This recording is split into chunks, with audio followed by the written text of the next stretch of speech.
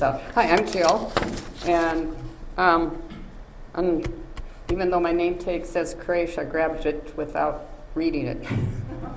we both have one that looks the same. Um, thank you for having us here.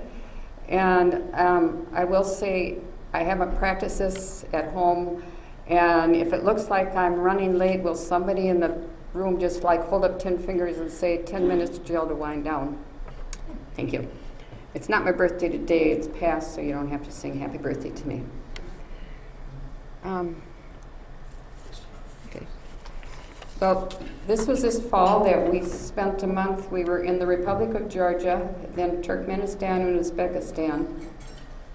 And I still would have trouble finding them on the map, but they're around the Caspian Sea and close to Pakistan in that area. And we went there. Um, I will say, I just wanted to go someplace different. And Koresh said, let's try the Silk Road. And I said, okay. It's that, as simple as that. So, um, you want to show the maps? Sure. Oh, yeah, you can.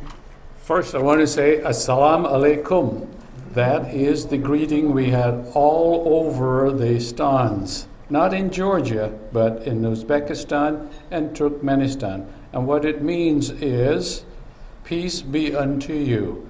And when we say that, the other folks will reply or echo, Wa salam, unto you peace be. And that's agreeing. Salam, shalom are the same derivatives, they came from the same source. Okay?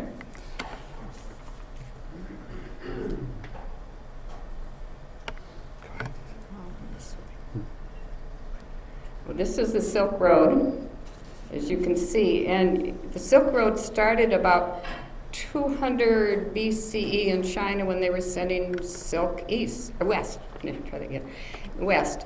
But it developed so that it went all the way to the Mid East. You can look right here. This area. It also went all the way down into India. And then it developed so that people from Europe and in that area came over to the, that part of the Mid East where they would meet. And um, I will say, if you heard of a cam- caravanserai, this is a big area where they would house the people, the merchants, and the camels. Some of these camel hordes, caravans, they call them caravan, it's a caravan of camels. Anyway, they'd be up to, you know, up to 1,000. I mean, they would just have, no, 100, knock off zero. But anyway, it's, it's a place where they could spend the night. Now, it would take the people from China approximately two years to get to this part of the world. It would also take the people from Europe approximately two years to get over. So when they got in those big places, cities grew around them, Bukhara, Samarkand, Mary, etc., Tbilisi. And this is where they would trade goods with one another. Now I do have a list of what would the, um, we'll start with, this is what would come from China traveling west. Silk, tea, dyes, precious stones, china, porcelain, I don't know the difference. Spices, bronze and gold artifacts, medicines, perfumes, ivory, rice, paper, gunpowder. That's coming. And some of the things that traveled from west to east were horses, including saddles and riding tack, grapes, grapevines, dogs and other animals, exotic and domestic, animal furs and skins, honey, fruits, glassware, woolen blankets, rugs, and carpets, textiles, gold and silver, camels, and slaves. Now, in this, which, this is Wikipedia, but they mentioned slaves coming from the west to the east. They didn't mention slaves coming from the east to the west. I do know that slaves are brought from Africa to the Mid East. Next. Okay.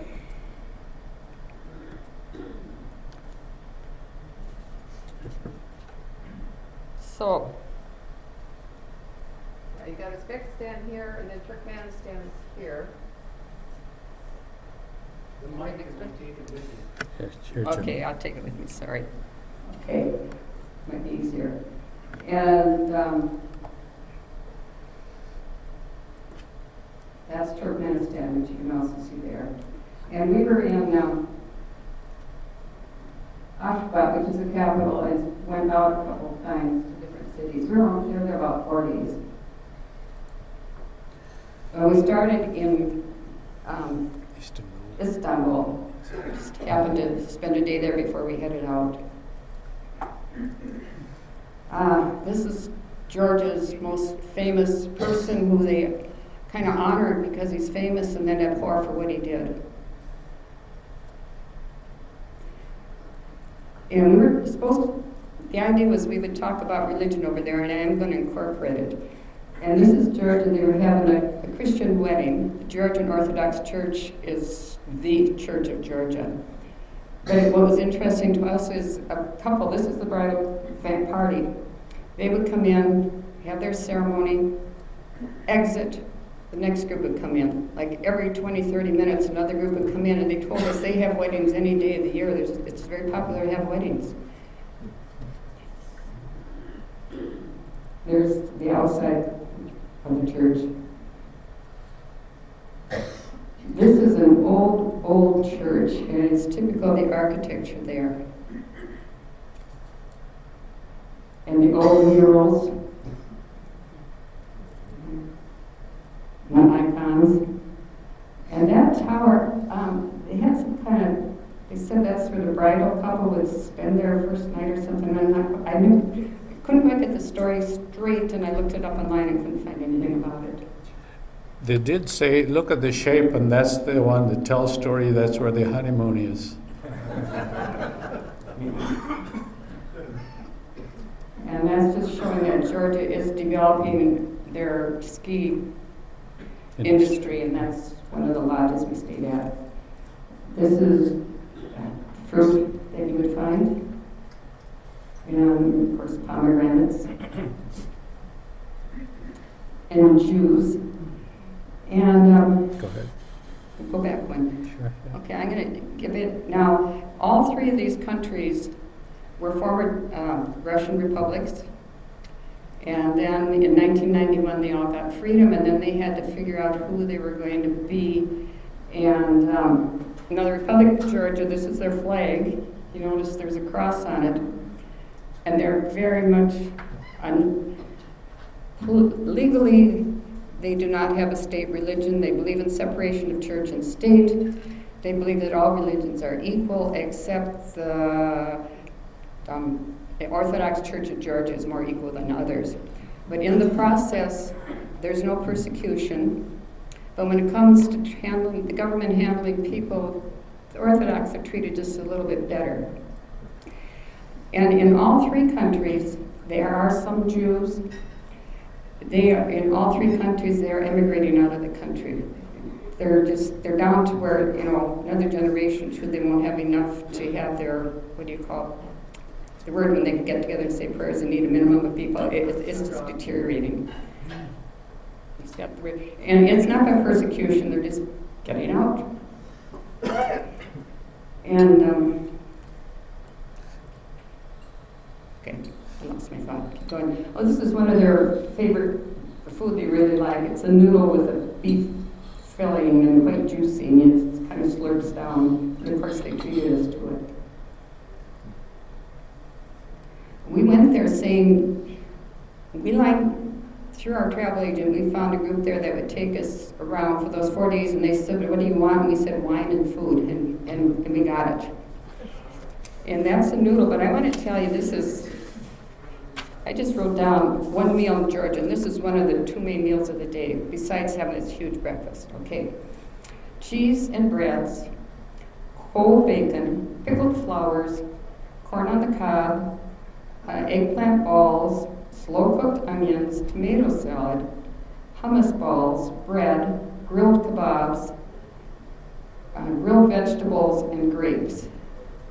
And when we were finished eating, you could feed another four people. It just, it, it really bothered us all to have all that food. I hope somebody else ate it. This is a spinach pie. This is a samosa. They call it samsa. Tomatoes, cucumber salad. I love that we had salads at every meal. We did go to, um, yeah, That's okay, that one slide, no matter what we did, just disappeared. We did vi- visit wineries, we did visit a place where we got to make the tandoor bread. Okay. Um, That's just a mural we liked. It was in a restaurant. Here we are with, um, we, this is at one of the wineries we were eating, and then we these people, go ahead. Can you get a mic? Ah!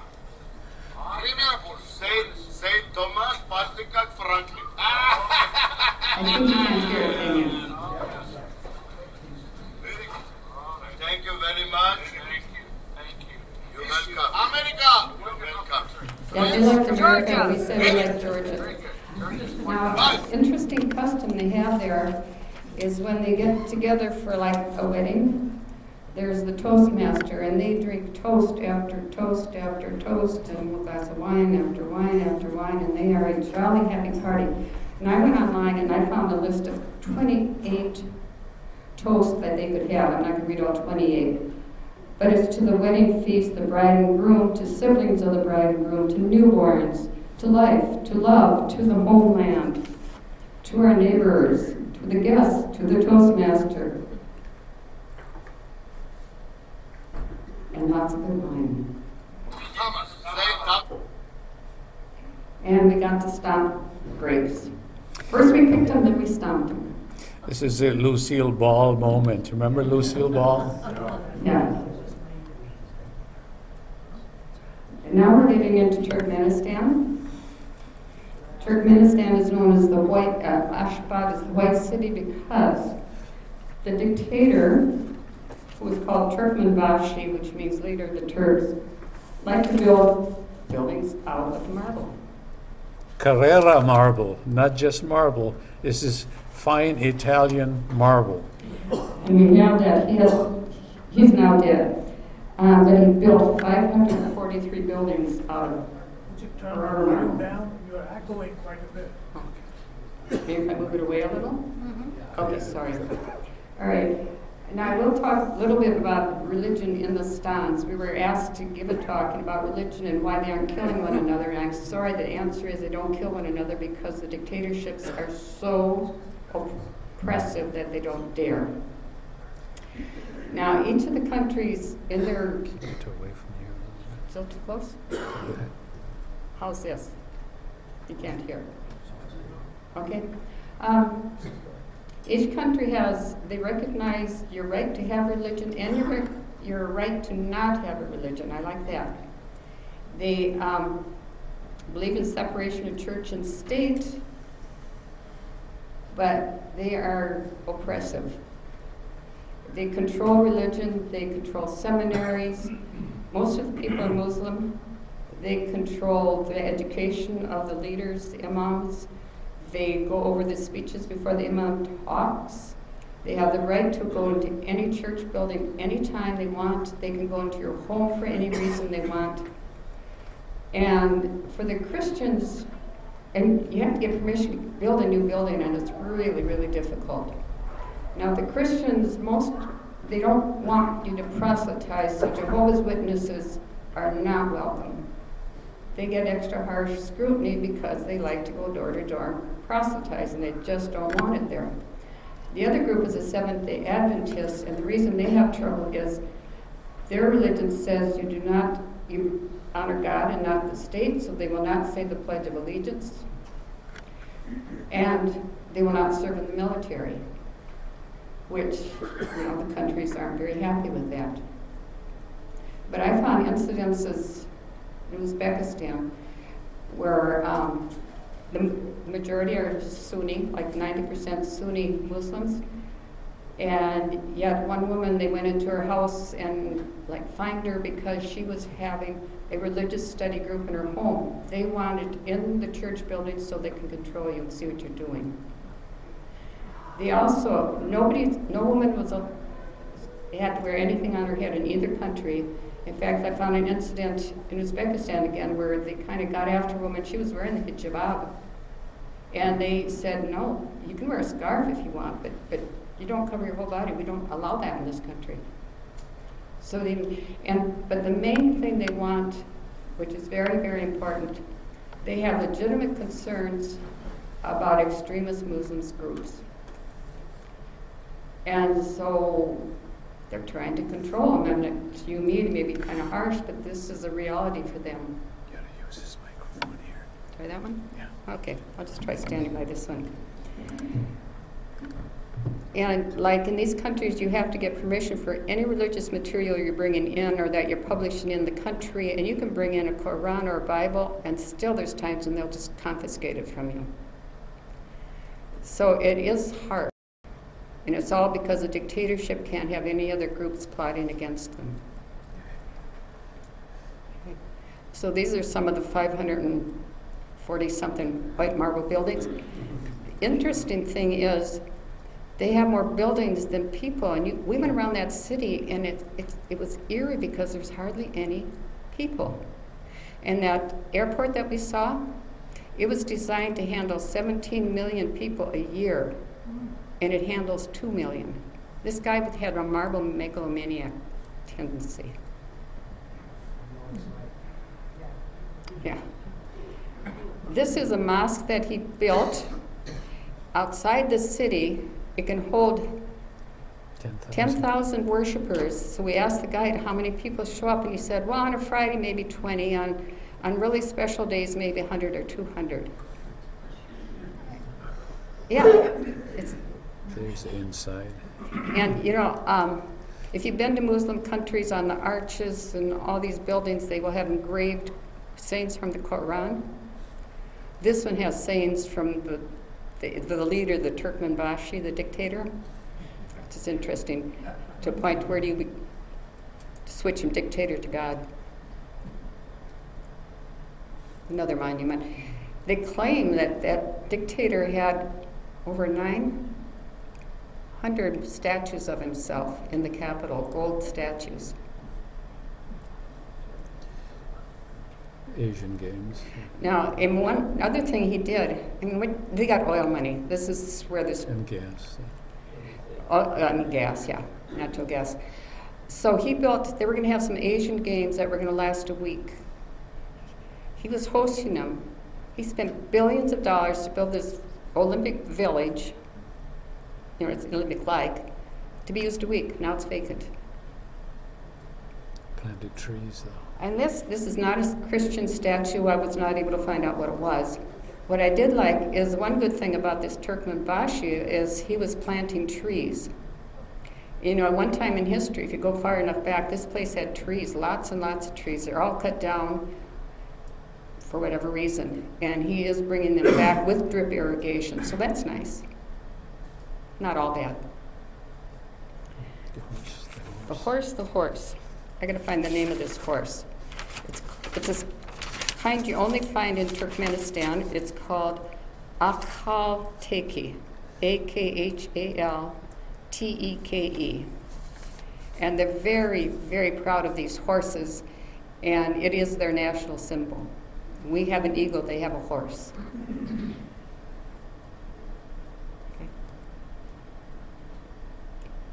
Sufi. Now, Koresh gets to read about this. He went to this site when I was going to the airport to collect my luggage, which was lost for 48 hours. Here you go. Uh, you probably heard about the Sufi and the Sufi tradition. It's a part of the Islamic uh, culture. Uh, Sufis are spiritualists, are the part of Islam that kind of uh, rebelled against the uh, the external part are the commercialism of Islam, and they focus more on the spirit or the internal part of their development.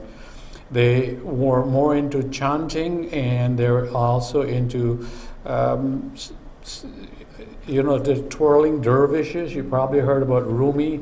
They are more into that kind of a thing. And they have a strong presence in both Uzbekistan and Turkmenistan.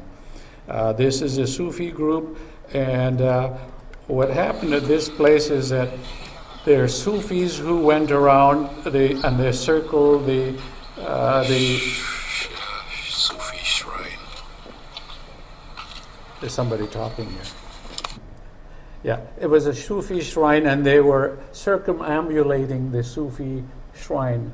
Uh, and it was very much the young kids as well as their parents that were doing this traditional mar- march around the shrine. Uh, uh, the Sufis are present in many parts of the, the world. India has Sufi tradition, Iran, and uh, also all, all the major Islamic countries have the Sufi tradition. Here are some of the Sufi women, and we had a chance to interact with them. They notice the big part of the head dress there. That means they were married rather than a ring, so you can tell apart somebody who's married and somebody who's not. They welcomed us when we gathered to, you know, went to visit them, and they provided us with food as well. And you can see um, them making food for us and themselves. Okay. This was a cultural event we went to. We had food, and then they dressed us up, which is fun. And they had dancers, and then they performed a wedding ceremony. Picked a couple out of our group, and a part of this is she has to untie a knot that he's wearing. It's just part of the culture.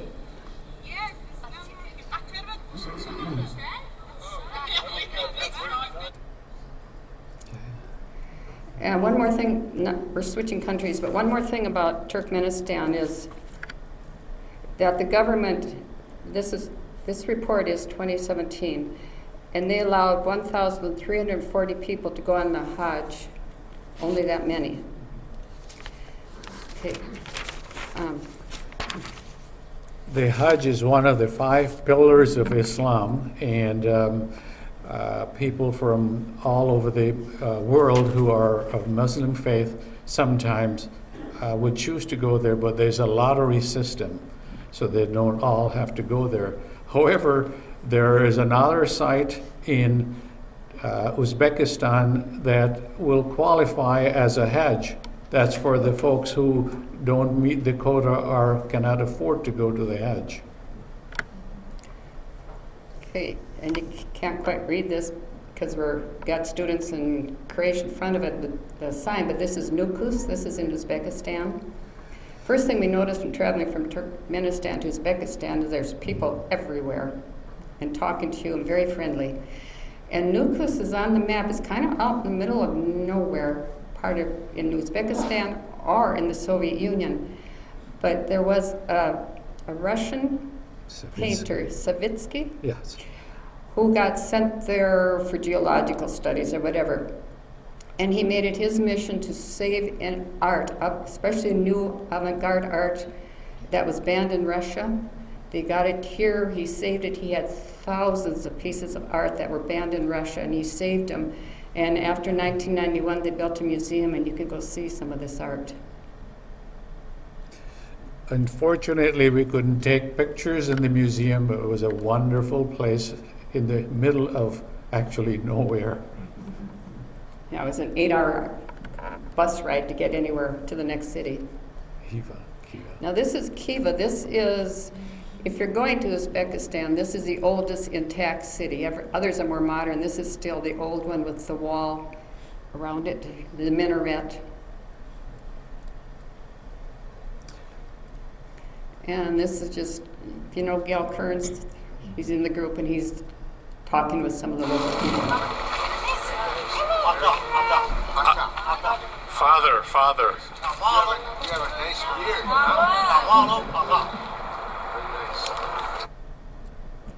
This was in three different cities we happened to hit when they were having a cultural festival. Pure luck. So this one people were dressed up that day for, and they had dancing and such. And one way to get people to have them, you know, allow you to take pictures to kind of show them the picture, and after that, you can have them, you can take a lot of pictures of them. And this one is a tradition that I have with Gail when I go around, and we call it, you remember Hemingway had the old man and the sea? This is the old man and the S E E.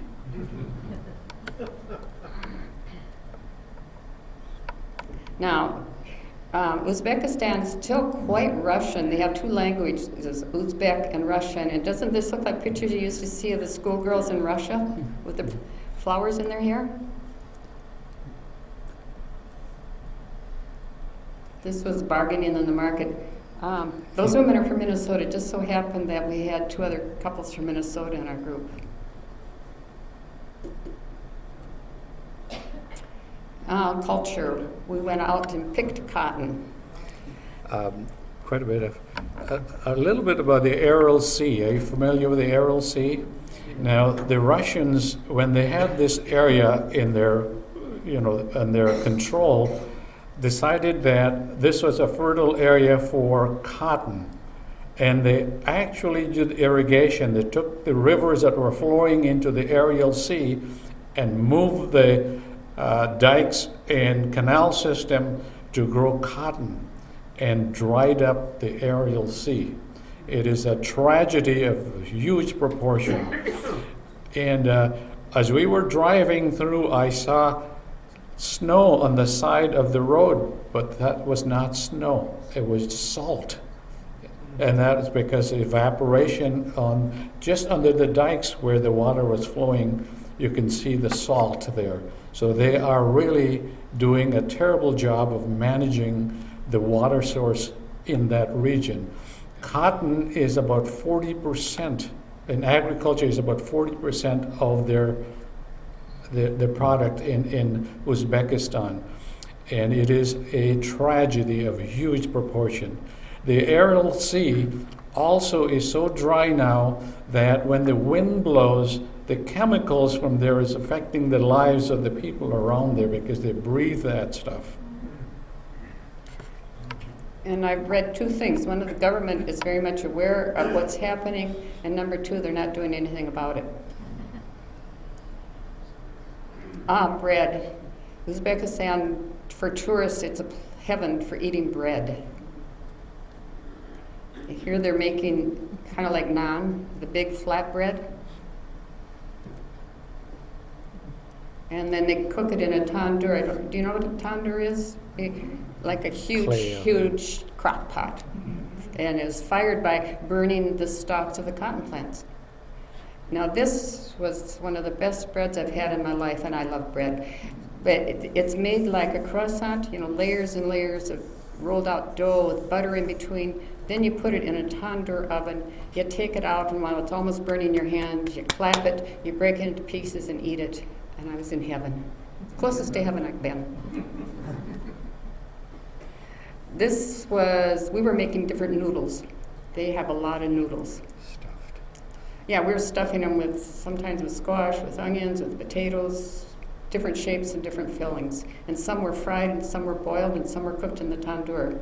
And the guys were outside, separation of sexes, but what the heck. They were looking at pomegranates and feeding the cattle, and cutting the hay to feed the cattle.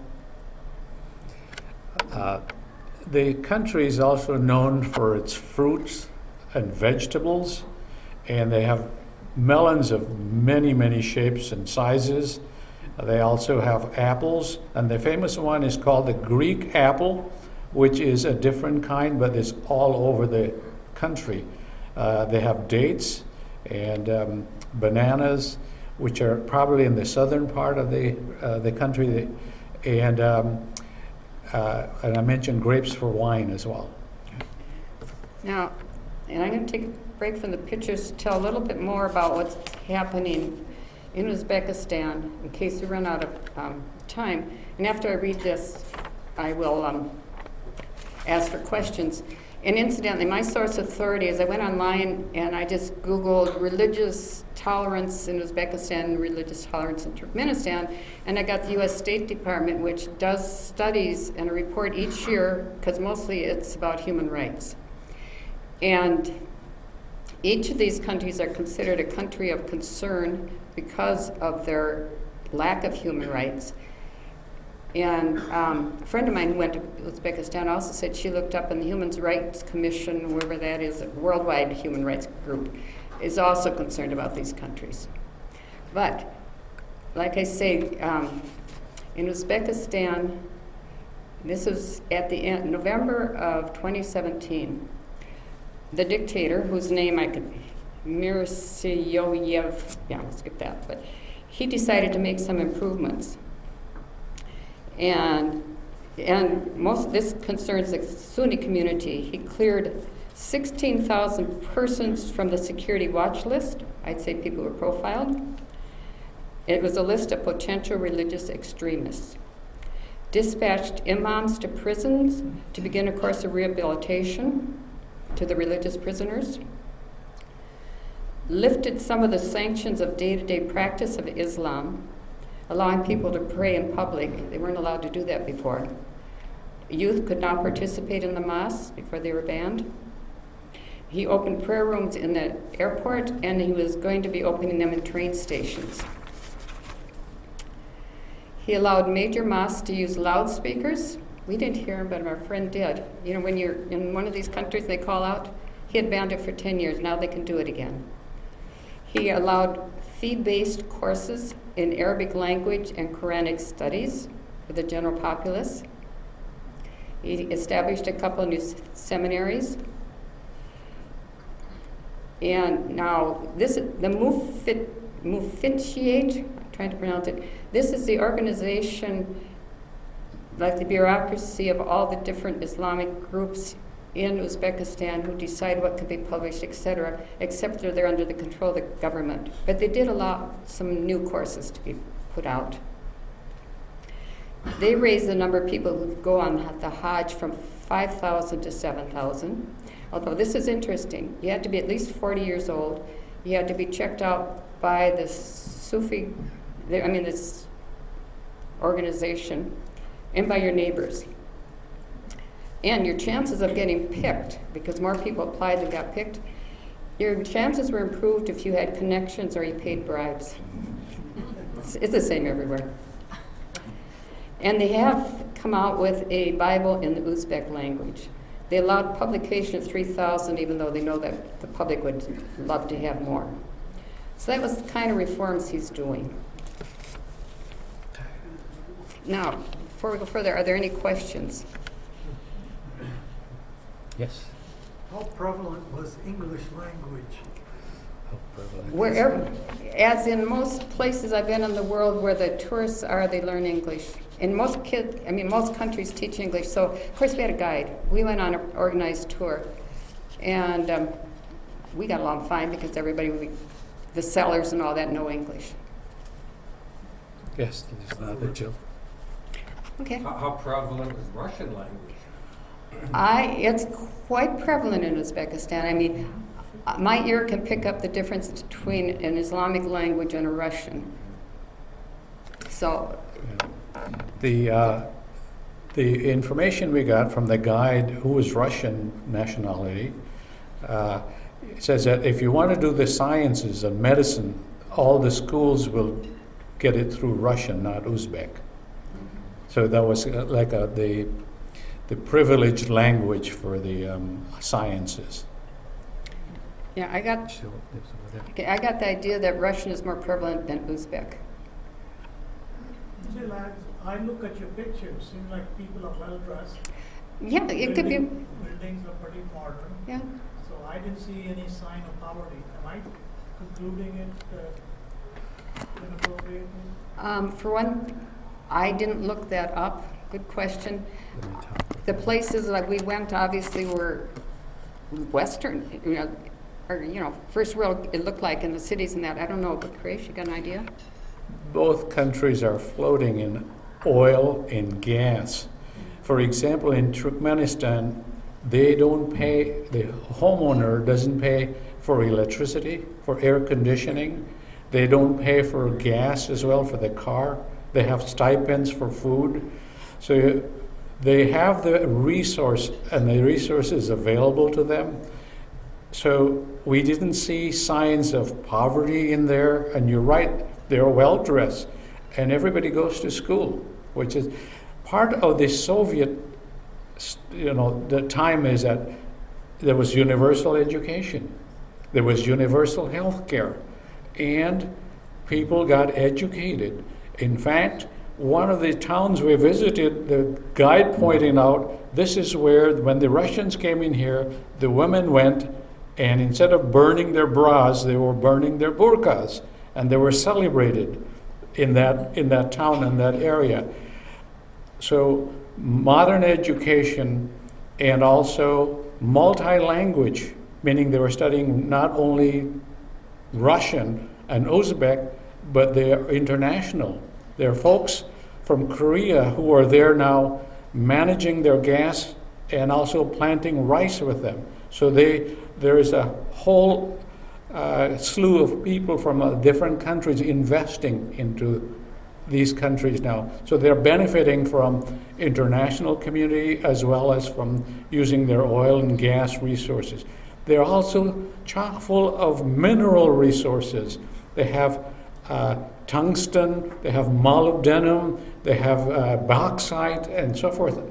And uh, all of these resources are, you know, and the Chinese are there. They've built roads into, and they, they are selling their gas to Iran and also to the Soviet Union and uh, the, so Russia and uh, as well as China. So they do have money. And we probably won't finish this, but I just remember where we saw cotton and the bread making, we got to visit a mayor there, and she was mayor of five, I would say, villages. And she said um, what was interesting, her job was so, you know, she only had one helper and then one intern. Oh, sorry. Yeah, more bread.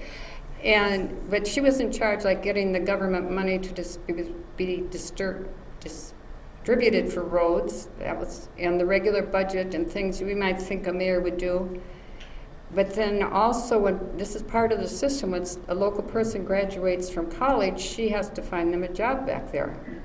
And then she told us that she had just, like the night before, been up most of the night settling a domestic dispute. Here, the police are called in, there the mayor is called in. So quite an interesting job description. What we saw just now, this one here, we, we visited uh,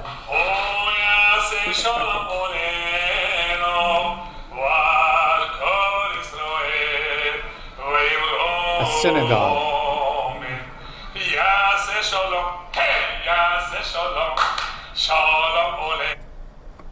Yes? Okay, like three questions. Um, first of all, is the country itself autonomous in the sense that, uh, you you know, it's, it's, it's a defined country, they make their own laws and rules, and other countries essentially do not interfere. Secondly, Okay. What's the total population? And then, um, is there a subsistence income for its people? Um, subsistence income, I didn't hear about. I do know in Uzbekistan they do have government housing for low-income people. Um, okay, what was the first question? Autonomous. How, how autonomous Yeah. is Yes, the country? Yes, they are autonomous now. Georgia, in, incidentally, um, Georgia, the Republic of Georgia, became part of Russia in 1885. So they're part of Russia a long time. And when they got independence in 1991, shortly after that, they said that some insurgents within the country wanted to go back to being Russian. I don't know if that's true or not, but Russia came in and took part of the country.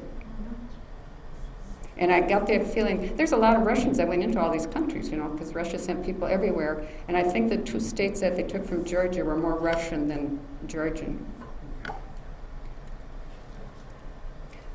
Okay. Well, that was a Friday mosque. Oh, okay. Go ahead.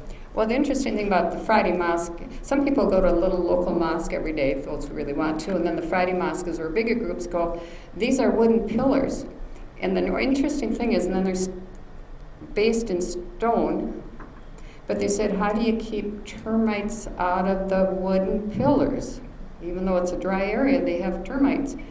So they put camel hair at the base, and that keeps the termites away, at least for five years. I don't know, because they told me if you see a, a nomad, a yurt made by nomads in Mongolia, they make them out of goat hair because it keeps the bugs away for like five years and then they have to make a new one. That's another question. Yes. Um, I'm kind of interested in the Aral Sea because I've been doing quite a bit of online investigation, and it seems to me that it was a few years ago was an absolute environmental disaster because of the irrigation and also the health issues with the um, uh, fertilizers and everything going into the air and people breathing things.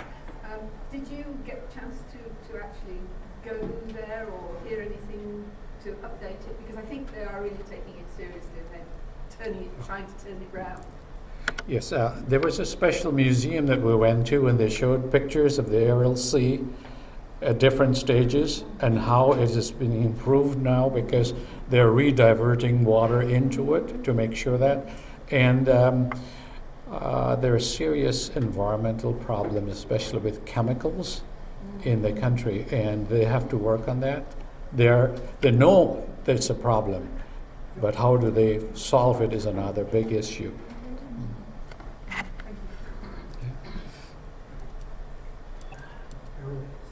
Yeah.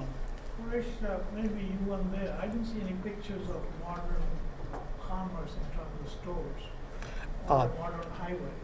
Did you not take the pictures? Uh, we, they, they were uh, major trunkways or highways, but they were in poor condition in many of the places that we went to.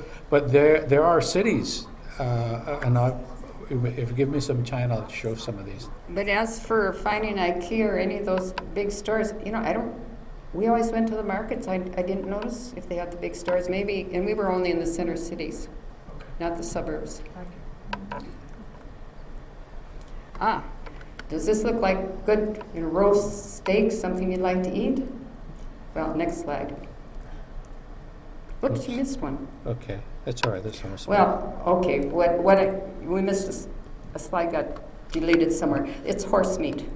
This is not Turkmenistan where they honor the horse. This is Uzbekistan where they eat the horse. Oh, this, pilaf?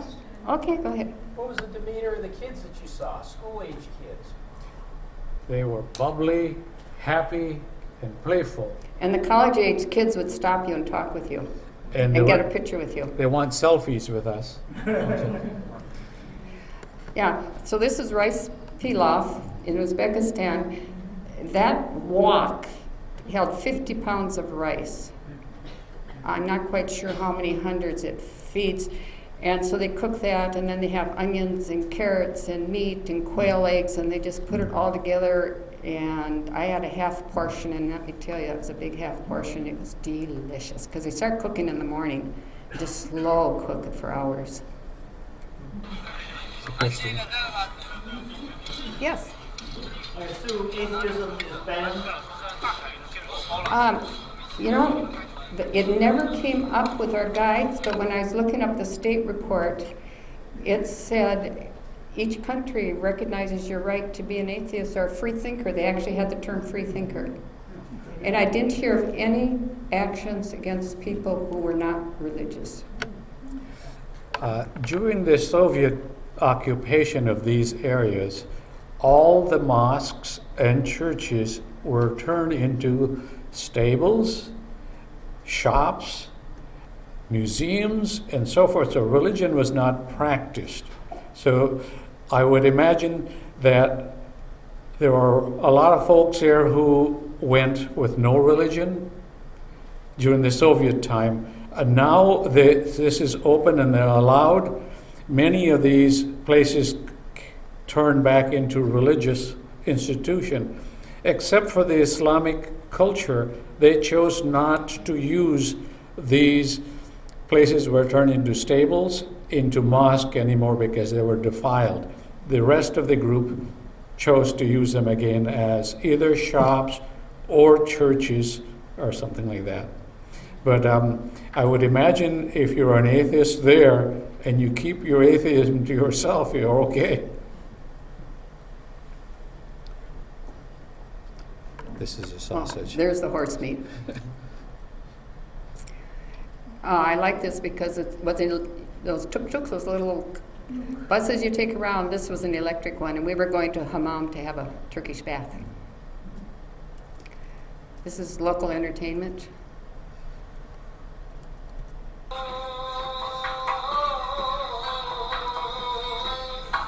And we had several of these at different places where um, we saw local dances. We were, now we went with Overseas Adventure Travel, OAT. They specialize in having groups no bigger than 16, so several times we got meals in homes and they would have an entertainment there. So we got places you couldn't go if you're a group of 30. It's a breakfast table. That's one of the homes we were at. It's one of our very nice hotel rooms. We stayed in nice hotel rooms. And this was a part of Samarkand that had fallen into disrepair. And then after it became inde- well, the Soviets actually were repairing it during their time. And look what the new one is. It's- It's the same place, but the Soviets restored this. And interesting, this area, the square had three madrasas. Now we think of madrasas as places where you go to um, make terrorists out of youth. Madras was a university, and they were very much, as you know, in the old days, they were very much into the sciences and astronomy. It was a university, not just a place for religious education. It seems as if wherever there is poverty in the world, people cling more to religion. And it is also true in this part of the world. These folks are mostly, you know, out of poverty. So you can see they're not wearing the religion on their sleeves. That's the detail of a dome. There's another picture of the square. And another. And this is just somewhere along the road where we stopped, and there was a well down there where they could stop and water their camels in the old days. Sarai. Yeah, Sarai. Another meal in a home. Uh, these students, they are sisters. They spoke many languages, including Russian, Chinese, and also Japanese. The students were university age, and they showed, took us to their room and they showed us their, their books, their notebooks, their textbooks that they were using and they have traveled. They've been out of the country. The old, the sister there was in Britain and Austria, studied in Austria, and um, have relationship with people in China and as well as in Japan. And this is one of the homes, and they prepared the food for us. The mother was laid up with a broken leg, and the, the girls took care of us. The, this is a show from Kyrgyzstan, and we had a chance to. Um, uh,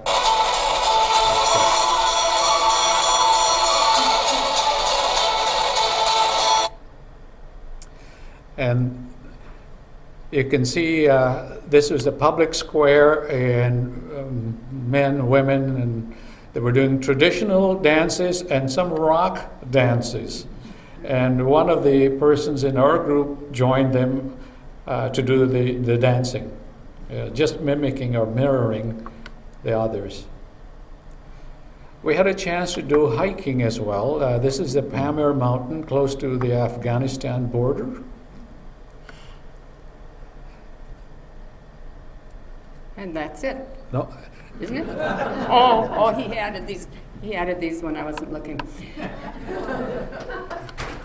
This is a, this is a urinal in one of the places we visited, and the photographs above that caused many of our tourists to miss. this is an Islamic country, and you would think they would be prudish, but no, there were more pictures there that I could not take because they were worse than these, or better than these, I should say. Well, thank you for listening, and if you have any questions, if you, just, yes. Yeah, and I don't know, do you want to tell people they can go and the ones who want to answer could stay, or does everybody want to stay a while?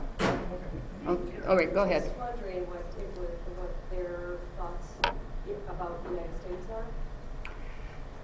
Um, You know, for all their travel, we mostly we were in our group and didn't talk with that many, but I never heard anybody saying bad things. And the guides are always very apolitical. So politics just doesn't come up. Uh, you can tell by their dresses, you can tell by their music, you can tell what they watch, and know that they're very pro Western.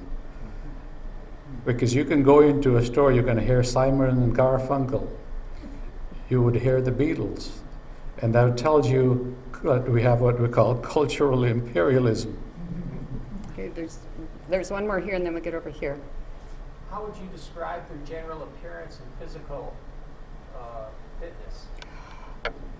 Everybody looked just fine, thank you, well fed and healthy. And it wasn't until at the last two cities in Uzbekistan where I noticed people had gotten so Western that they were putting on too much weight.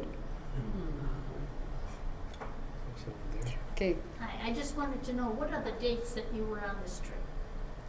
we got back just before thanks before Halloween, so it was most of the month of October And that was in this year. This Oh, well, year. 18, yeah, 18. eighteen, okay. Any more? I have one. Okay. Of all the places on the planet to spend the month, and you chose this unique area of the stans, what, uh, what kind, what kind of thoughts or information did you get to choose, to choose to go there? Well, as I said, I'm, I'm open to adventure, and it's a part of the world I hadn't seen. And Grace said, "Let's go to the Silk Road," and I said, "Okay." It's that easy. Okay. Yeah. Yes, Bill? Uh, What political differences did you see between the stans in Georgia? Ah, It Seems yeah. like Georgia would be much more into the Soviet kind of living styles, whatever, as opposed to the, the the stans. Quite the opposite. Georgia is more pro-Western than all the two stans that we visited. Very pro-Western. Did they still worship Stalin? Uh, no, no. They, in fact, they're embarrassed by that, but they say they have the museum there because they want to show it's an attraction, it's an economic benefit to the area. The t- name of the city was Gori, like. uh, uh, the, the guides that we have there, we, we, we questioned, or we asked, um, how, is it, how do they feel about this person there? And she said to us that hey, Stalin killed a lot of Georgians as well. So, yeah, he was uh, an equal opportunity murderer. But if it brings tourists, Yeah. Okay. Um, I think we're gonna, I think we're gonna wrap it up right now. If you have any more questions, feel free to talk to them, um, afterwards. So.